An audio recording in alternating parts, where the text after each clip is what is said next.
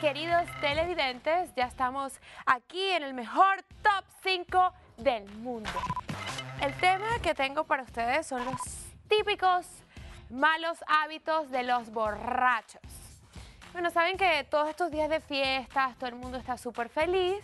Por supuesto, están celebrando la llegada del año nuevo, pero siempre observo y me di cuenta que en toda celebración siempre hay el típico borracho ridiculizándose. Así que aquí van los cinco malos hábitos más comunes que fui testigo en estas fiestas. Vamos. El mal hábito de los borrachos número 5 que siempre observo es que siempre tienen la cuenta bancaria en quiebra. Porque gastar tu dinero en alcohol no ayuda a nada. Y lo que siempre observo en algunas personas es que después que se gastan un montón de dinero bebiendo, luego en la madrugada tienen un montón de hambre absurda, loca de dragón. Y cuando ven, no tienen más verdes.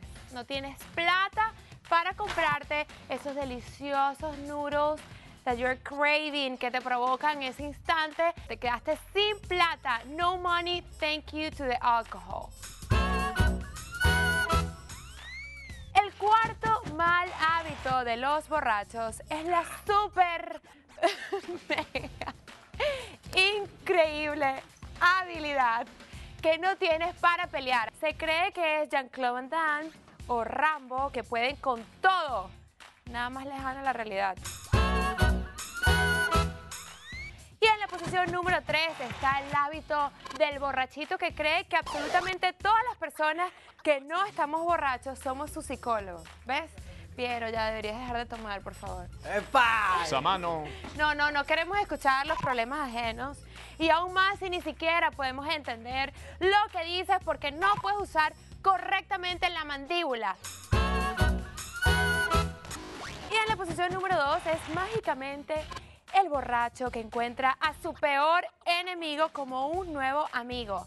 De la nada el borracho comienza a sentirse identificado con su enemigo por las cosas más insignificantes. Mira, también usa un pantalón azul. No, amigo, es un blue jean. Blue jean, blue. Y no tiene nada que ver ser amigo de alguien porque nada más que usa el pantalón azul.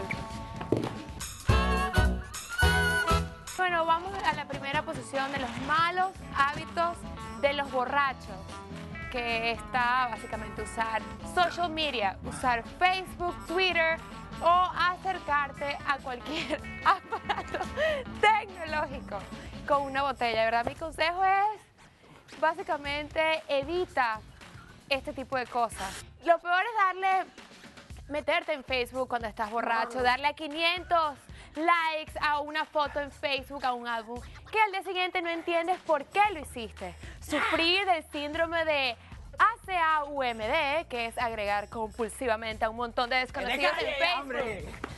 Escribir algo en tu Twitter o postear una foto en Instagram. Yo quiero que voten de verdad este hombre, este borracho que da asco, pena ajena, Piero. Ojalá te voten. Regrésate a España, ¿ok?